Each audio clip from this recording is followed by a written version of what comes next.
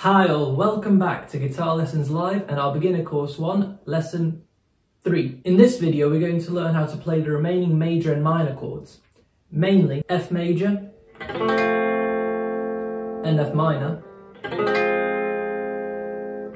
as well as B major and B minor. But then we are also going to look at how we can move these shapes around in order to play any chord we like. So say for example I need to play the chord A flat major, but I don't know it. Well, what we can do is we can take our F major shape and just move it up and down the fretboard into the right position so that we are now playing A flat major. So I can use my knowledge of the chromatic scale to go F, F sharp, G, G sharp, which I also know that G sharp is equivalent to A flat, which check the previous lesson. And then if I know that this is A flat, I can just play the exact same shape and get the chord that I need.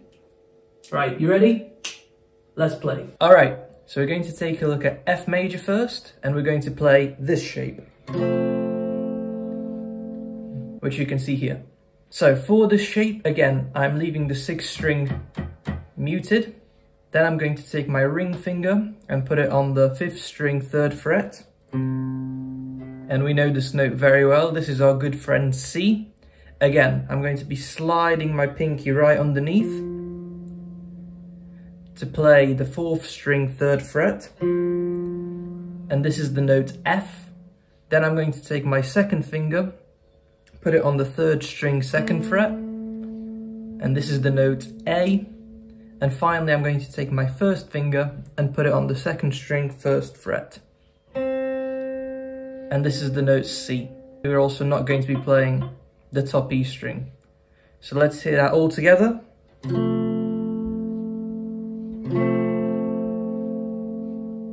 Now one of the interesting things about this F major chord is that actually we don't have to mute this first string, this high E string. We can actually leave that ringing out in order to get a slightly different color to the sound. And for those of you who know a little bit of music theory, what that would involve is going from an F major chord to an F major 7 chord. So if I just play our F major first, and now compare this color and this sound to when I play it again, but now with the highest string ringing out. So you notice the sound becomes a lot more sparkly and a lot more colorful. So again, comparing the two, we have F versus F major 7.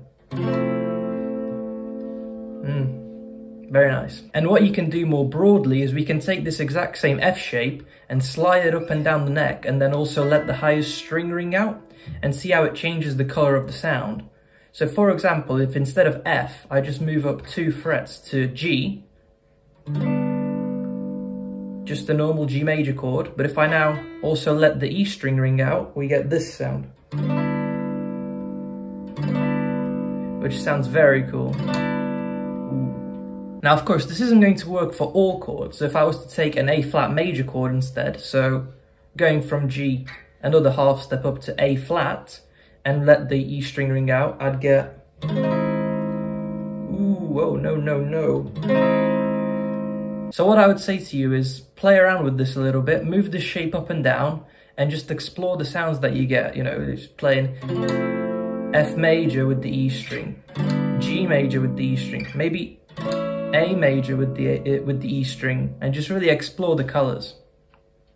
Cool. And just one final thing on this F major chord, which is that we can actually play a slightly more difficult shape if we don't want to be playing the open E string or be worried about muting. And it's actually going to be this one. So what you'll notice is that it's the exact same shape, except now I'm just doing this little bar with my first finger across the top two strings. And essentially what we are doing there is we are adding the first string, first fret, and the note is F. So altogether we will be playing this shape with the little bar. Now that is a little bit harder, and again, if you can't do this one, feel free just to stick to our standard F. Right there. Next up, we have F minor, and you'll notice that we are playing the exact same shape as we did for G minor in the previous lesson. So previously we had on the third fret our G minor, And what we are going to do is we're just going to move it down two frets so that now we're playing F instead of G. All right, let's check it out. For this chord, again, we're going to be muting the sixth string. Then we're going to take our third finger and put it on the fifth string, third fret. And once again, you'll know that this is our good friend, the C note. Then you're going to slide your pinky underneath and play the fourth string, third fret, and the note is F.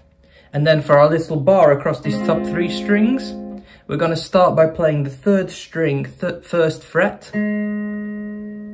And you'll know that this note we were referring to as G sharp. However, in the context of this F minor chord, I'm now going to be calling it A flat. So we have A flat, then we're going to play the second string first fret, and this is the note C, and finally we're going to play the first string first fret, and this is the note F. So all together we have our F minor chord. If you're struggling with some of these shapes, don't worry, take your time, learn it slowly, I promise you it's going to come. Moving right along to B major, we're going to be playing this shape. And I think there is a key thing to address with these shapes, and that is that we are eventually going to be taking all four of them and turning them into bar chords. So what we want to do is get to a point where we are taking these exact same shapes and just laying our index finger across in order to also play this bass note so in this case, it would be a B note. So our index finger will be playing the bass note of the chord, as well as the highest notes of the chord. So that's one for the future, but for now, we're just going to be playing our B major like this. And what that is, is I'm once again muting the sixth string, as well as the fifth string. Then I'm taking my second finger and I'm putting it on the fourth string, fourth fret and this is the note F sharp.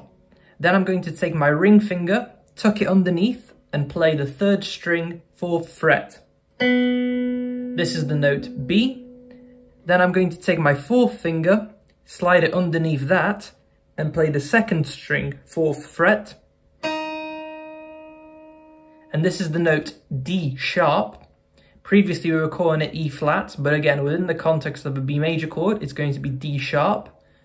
And finally, I'm taking my first finger and I'm putting it on the first string, second fret. And this is the note F sharp. So, all together, we're going to have our B major chord. And last, but certainly not least, we're going to take a look at the B minor chord. Again, we have already seen this shape when we were playing C minor in the previous lesson, and so all we're going to do is going to take our C minor shape and we're just going to slide it back down one fret.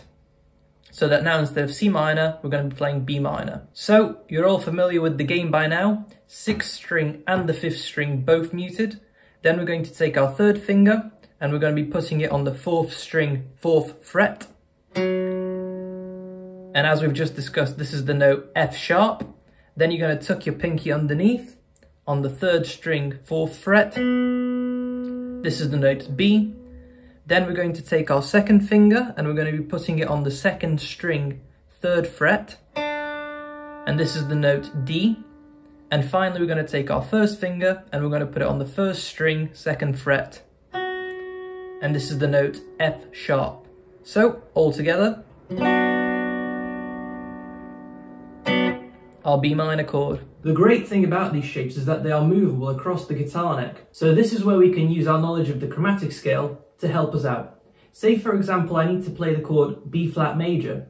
Well, what I can do is just take my B major shape and then, like King Julien from Madagascar, I'm going to move it, move it, down one fret. And I get my B flat major chord. This is really powerful, so make sure you keep this concept in mind and make sure you practice it. So what you could do is let's take the F major shape and just move it up and down the fretboard while being aware of the chord you're playing. So let's say I move it up a half step. Now I'm playing F sharp major. If I move it up another half step, now I'm playing G major, and so on and so forth. All right, let's dive into some exercises. For exercise one, we're just going to be taking our four shapes and using them to play two different progressions in time. And of course, the progressions we're going to play are not random, but instead they come from the major scale, which we'll take a little look at later on in the course. The first progression we're going to play is going to be C major, G major, then we're going to slide down two frets to A minor, and we're going to finish off by playing F major. And then repeat the loop. And for the second progression, we're going to start on B minor, then we're going to play G major again, then we're going to jump down and play D major, and finally we're going to finish on A major and then back to the start with B minor. Alright, so we're going to start with progression 1. I've got the metronome set up at 50 beats per minute, and 3, 4, and C major, and G major, and A minor, and F major, maybe the open string, and C major and G major and A minor and F major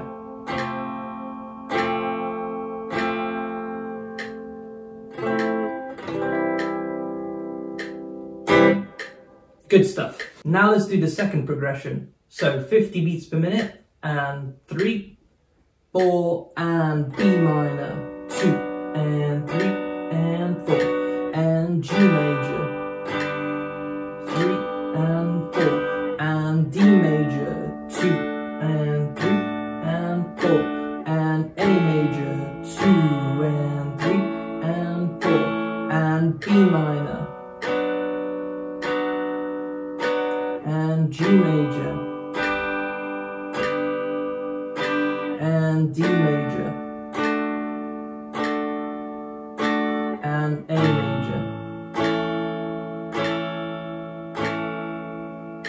Now, exercise 2 is going to be a little bit different from what we have done so far. And what it will involve is we're going to try to play the chords we have learned while putting as little pressure on the strings as possible. So it's all about becoming aware of just how little pressure it takes to get a note to ring out. And I know a lot of you feel like you have to really grip the fretboard as if your life depended on it just to get some notes to ring out. But what we're going to discover is that actually you can get the notes to ring without much pressure at all. And this will help you with your chords going forward as well as with your chord changes. So check it out. If I take my ring finger and try to play our good friend the C note, which you'll know is the fifth string third fret, right here, what I can do is I can just lay my finger on the string and then start to apply pressure gradually to see just how little it takes to get the note to ring. So I'll start here with no pressure at all, and you'll notice that the string is just dead, we're not playing anything. Then I put a bit more pressure, still nothing, a little bit more. Oh, maybe, and then a little bit more. Ah, and already I'm getting the note to ring without having to really press my finger hard against the fretboard. Alright, so now let's do the exercise with some chords. To start with, I'm just going to take our G major chord, and I'm not going to do the more difficult shape, I'm just going to do the open chord we learned in the very first lesson. So it's going to be this shape. And then I'm going to take my second finger and just start to play the note while applying more and more pressure gradually. Once I get that to ring, I then take my first finger and go on to the next note. There we go. Then the next two strings I just played open. Then I take my third finger and I try to get the second string to ring and there we go. And finally I take my pinky mm and there I'm already getting a note.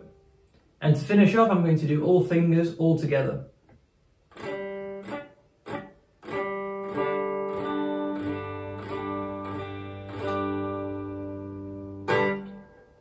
Actually, with very little pressure, I can get the notes to ring out very cleanly. Let's repeat with the D minor chord.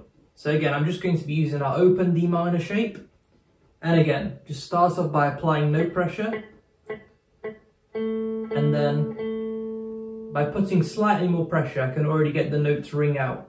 So now let's take my ring finger and continue.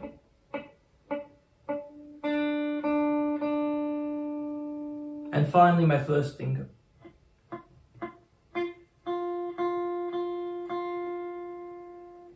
And then the notes all together in one chord.